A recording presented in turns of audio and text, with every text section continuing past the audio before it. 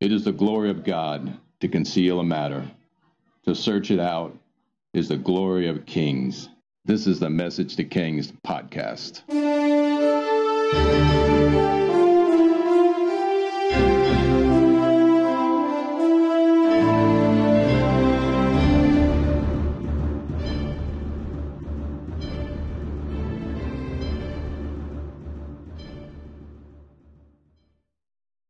Episode 263 The Circumcision of Jesus and the Blood of Christ. In the courtyard of women, every day, two devoted followers of God come to pray. Each of them had invested their life to pray for the coming Messiah. Each of them had spent decades devoted in prayer. Each of them knew the Messiah was coming, and they knew it with the sincerity of their heart. They trusted in faith. They trusted that God was going to come and perform wonders, that the Messiah was coming. And each of them, at over 80 years old, knew in their heart of hearts he was coming. But he wouldn't show until the day of his circumcision in the temple courts. On the eighth day, baby Jesus would be brought to Jerusalem to be circumcised and dedicated to God. In essence, it was his dedication. But more than this, it was the fulfillment of the dedication of the Abrahamic covenant. The Abrahamic covenant comes from the blessing or prophecy of Abraham spoken in Genesis 12:1. The Lord had said to Abraham, Go from your country, your people, your father's household, to the land I will show you. I will make you into a great nation, and I will bless you. I will make your name great, and you will be a blessing. I will bless those who bless you, and whoever curses you, I will curse. And all peoples on earth will be blessed through you. So the blessing has three parts the promise of land, the promise of descendants, and the promise of blessing and redemption. God required of Abraham his commitment and the act of circumcision. Genesis 17:9. Then God said to Abraham, As for you, you must keep my covenant, you and your descendants after you, for the generations to come. This is my covenant with you and with your descendants after you, the covenant you're to keep. Every male among you shall be circumcised. You're to undergo circumcision, and it will be the sign of the covenant between me and you.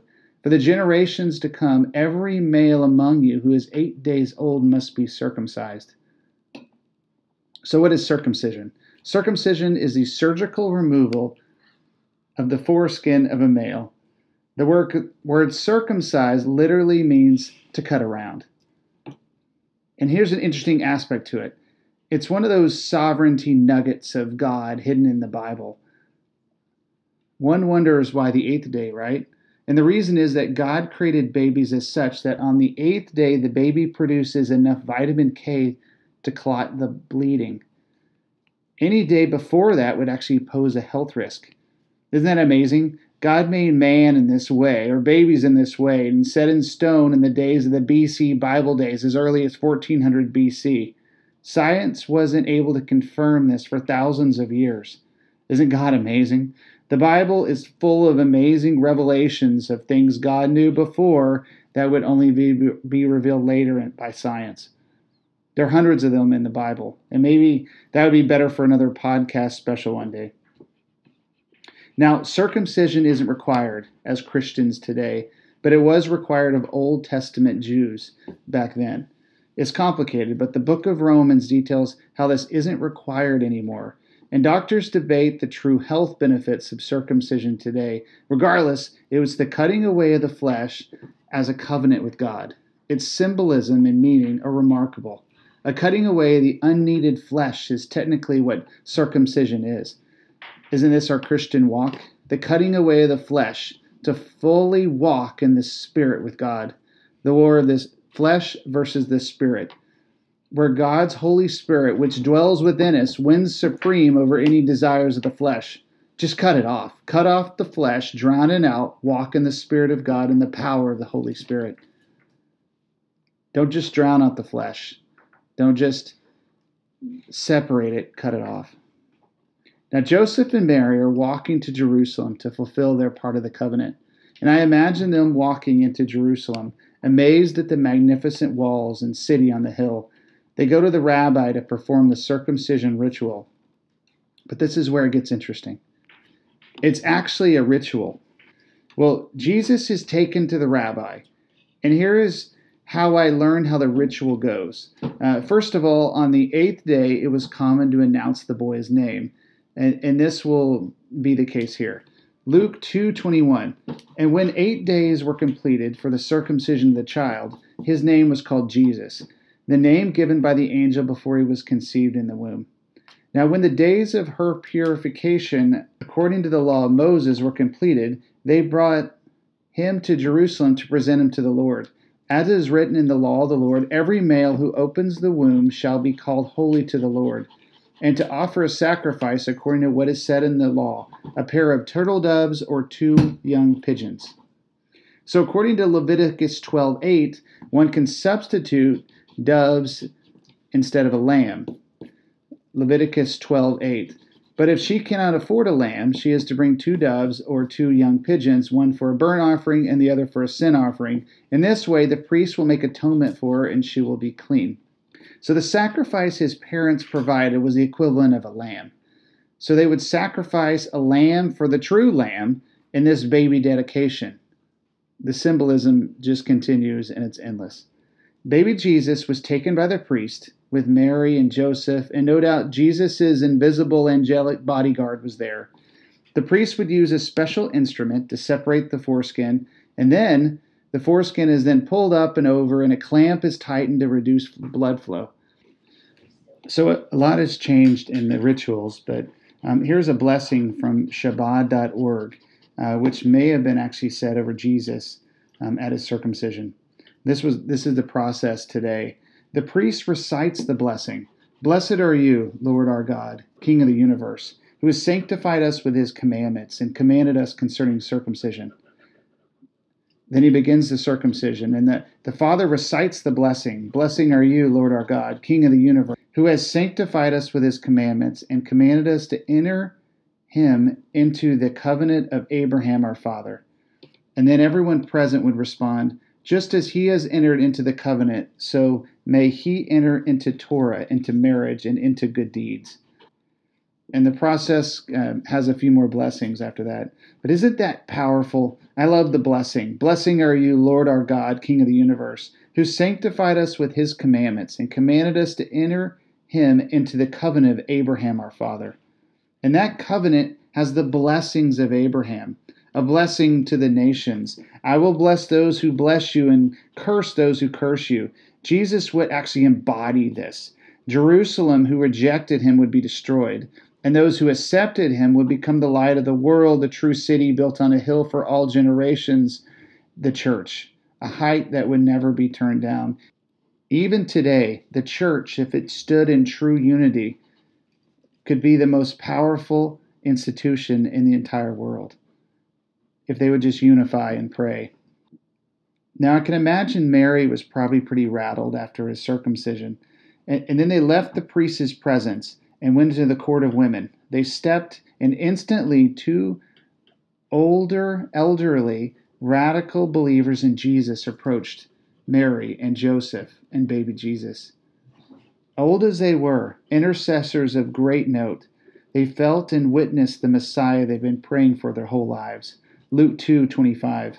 And behold, there was a man in Jerusalem whose name was Simeon and this man was just and devout, waiting for the consolation of Israel, and the Holy Spirit was upon him. And it had been revealed to him by the Holy Spirit that he would not see death before he had seen the Lord Christ. So he came to know by the Spirit that Jesus would come in his lifetime. Okay, so how did he know that? I mean, the Holy Spirit actually told him that he wouldn't die until he saw the Christ. Isn't that amazing? And that amazes me. What faith a man a man of faith, he had to wait until the very end of his life to witness what God promised. And he starts his words stating that I am now ready to depart. And I mean, he must have been really up there in years. Every day he must have been waiting. Um, you know, how old was he? He's getting out of bed every day. Is today the day, Lord? I'm well, the Holy Spirit fills him, and then he speaks. Luke 2 27. And when the parents brought in the child Jesus to do for him according to the custom of the law, he took him up in his arms and blessed God and said, Lord, now you are letting your servant depart in peace, and according to your word. For my eyes have seen your salvation, which you have prepared before the face of all peoples, a light to bring revelation to the Gentiles and the glory of your people Israel. And Joseph and his mother marveled at those things which were spoken of him. Isn't that amazing? He truly knew it instantly. He knew the Messiah. And one of the things that Jesus said is, You didn't know the hour of your visitation, but here's a man, Simeon, that he knew him when he was eight, when he was eight days old. He said, My eyes have seen your salvation. And he went further. He said, Salvation for all people. What an expansive thought for this age. Then he says, He will bring revelation to the Gentiles. That's for you and that's for me.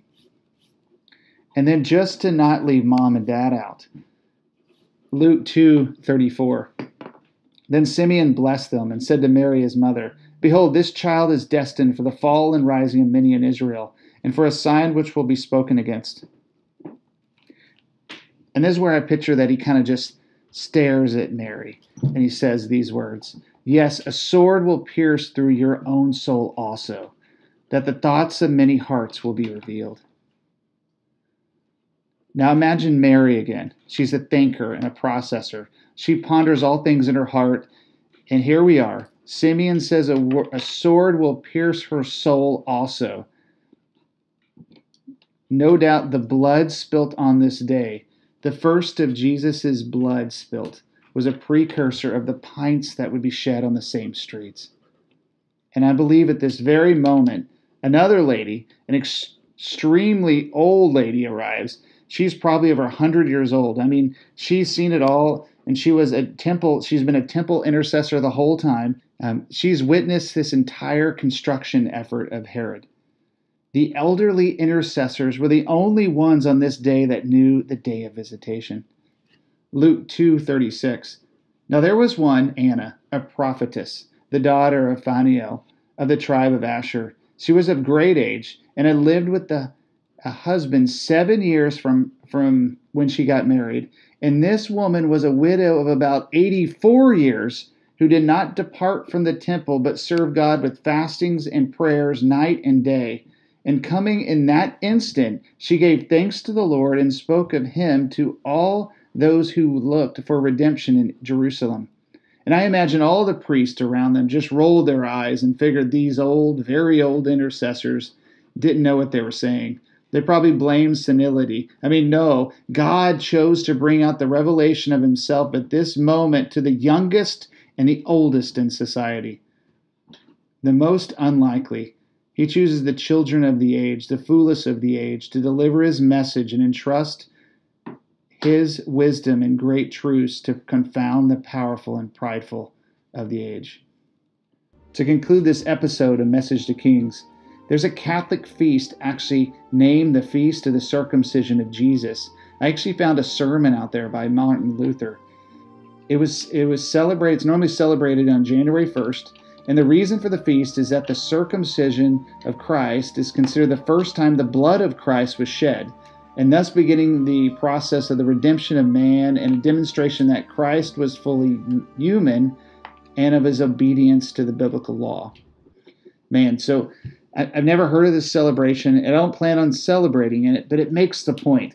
At his circumcision, it is it's truly the first time the blood of Christ was shed, and the blood of Christ sets in motion the words of blessings, the fulfillment and the rite of circumcision, this Abrahamic covenant, and then these blessings of Simeon and Anna. And I think the key here is, is just simply this it's the blood of Christ. It connects the blessings of Simeon and the new covenant. The blood of Christ is our salvation. Simeon said, I've witnessed your salvation. It is by the blood of Jesus we are saved. It was first shed here on this eighth day. The atonement for sin is the blood of Christ. Not only this, but Jesus would make a new covenant based upon his blood. This is crazy. And at his when he starts doing communion the first time, in Luke 22 20, he says this. He says, This cup is the new covenant in my blood, which is poured out for you. So the old covenant was the Abrahamic covenant, the new covenant is of his blood. The pouring of the wine in the cup symbolizes the blood of Christ, which would be poured out for all who ever believed in him. Jesus will fulfill the requirements of the law in 1 Peter 1 9, the precious blood of Christ, a lamb without blemish or defect. Jesus' sacrifice paid in full the debt of sin and grants us salvation. Hebrews 9:14 His blood will make our consciences pure from useless acts so we may serve the living God. 2 Corinthians 5:17 Because the blood of Christ has redeemed us, we are now new creations in Christ. It's not about works or anything to that degree. It's about faith that his blood fulfilled the requirements of the law and makes a new covenant. It redeems our flesh, our soul, and makes us new. Aren't you glad it's not about circumcision now? In essence, there is a circumcision of the heart a renewed commitment to God. This is what God requires a holy communion, a new covenant, which the blood of Jesus sets us free and gives us authority to walk in true love and blessings of God. Enter into this covenant today.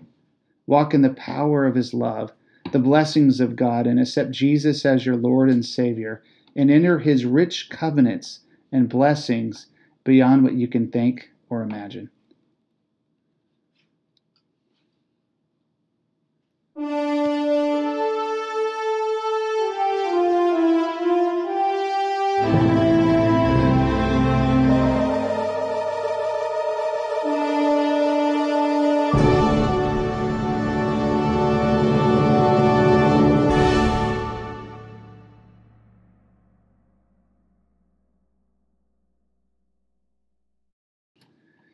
Thanks for joining us for this episode of Message to Kings. Feel free to visit the website, messagetokings.com, share the Facebook page, or visit our affiliated Etsy store, Steadfast Gifts, or if you want to chat, email us at messagetokings at gmail.com.